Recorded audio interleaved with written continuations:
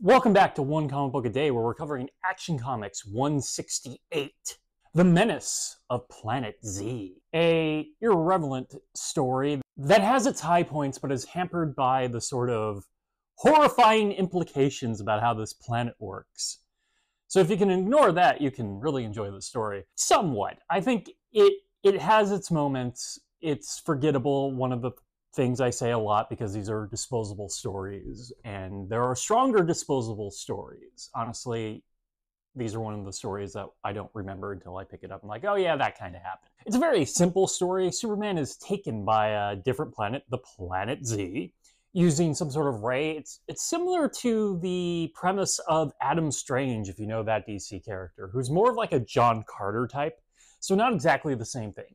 They need Superman to help because on their planet they have nothing but plastics, so they have plastic cities, and because of the lack of metal, they have been stealing gigantic beasts from other planets and using mind control devices to control them to do things, sort of like the Flintstones. So they have like a gigantic bird be their airplanes, which is fun in theory, but once again, implications horrifying because these beasts would have less consent than the dinosaurs on the Flintstones, who seem to be sentient and going along with that unless they've been enslaved.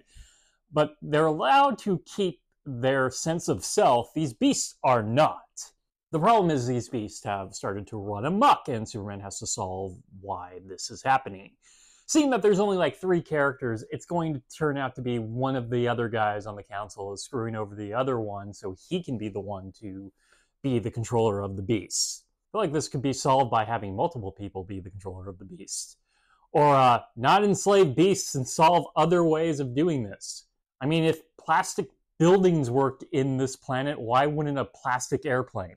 What's interesting is this comic as partly a joke and as partly a reliance on structure, and I can't believe I'm complaining about structure, is they have Clark get a job with the newspaper and essentially live out his status quo on Earth. He's a reporter again. He has a boss like Perry. He has a woman who's sort of enamored with him and Superman. It's not really dealt with all that much, who also is an LL who works at the paper or news organization, whatever this is. So yes, it's funny that he gets this job, but it also takes away from the actual plot of the story where we don't have room for the actual mystery. And we could have easily done without it. Especially the fact that he has to lose this job really quickly to go back to Earth for some reason. He could have just gone back to Earth. Who cares about this job? You didn't need to live there. Why did he have this? I get it. It's a joke. It's it's a joke. I get it. But the joke is forgetting the actual story the B plot is is is getting in the way of the A plot. But don't worry, once Superman solves this whole problem by switching out the mind control device, he goes out and gets a bunch of meteors full of metal, so the planet has metal and they don't need these creatures. So he does actually build some sort of aircraft and take those creatures home, even though Ray should be able to bring them home. They have a Ray that can teleport people, but they have trouble with other machinery. Nope, don't poke holes in the story. It's fine. It's it's fine. It's got its moments. Superman fights some beasts. You, you get to see a big bird be an airplane. And when he returns back to Metropolis, Lois complains about him being missing and how odd that Clark has been missing in the same time. He goes, Oh, here we go again.